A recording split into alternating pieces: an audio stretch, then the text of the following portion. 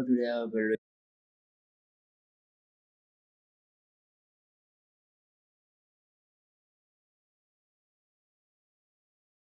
for some lesson video. Make sure to like the video and subscribe to the channel. Press the icon for the latest notification. Until then, take care. Bye bye and see you in the next video.